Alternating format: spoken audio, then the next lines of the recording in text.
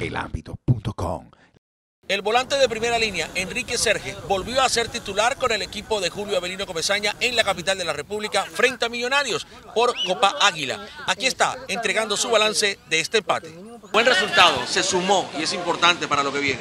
Bueno, sí, gracias a Dios logramos sacar un excelente resultado. Faltan 90 minutos, esperemos que en Barranquilla eh, logremos esa victoria y pasar a la siguiente fase. ¿Se sintió de pronto el no tener continuidad para estar con los compañeros en esa fase de la zona de recuperación y la generación de fútbol en la mitad del terreno? Bueno, este, el equipo estuvo muy bien parado, tuvimos algunas oportunidades pero no las pudimos concretar.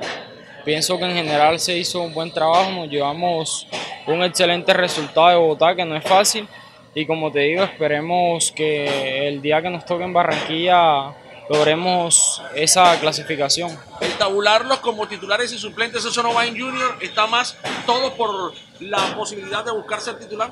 Bueno, eh, actualmente todos estamos trabajando de la mejor manera y cuando nos toque la oportunidad siempre vamos a dar lo mejor de cada uno.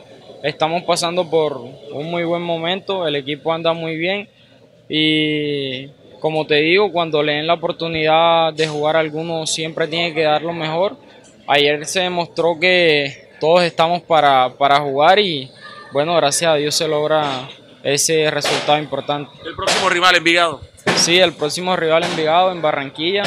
Eh, vamos a, tratar de seguir haciendo lo, lo que se viene haciendo y esperemos con la ayuda de Dios lograr otra victoria y seguir más cerca a la punta, que, como todos sabemos es Santa Fe, lo, ideal es estar de primero, pero bueno, que sigamos con esta campaña que es lo importante. Tras el empate en la capital de la República, Enrique Serge se coloca a disposición del cuerpo técnico para el partido frente a Envigado.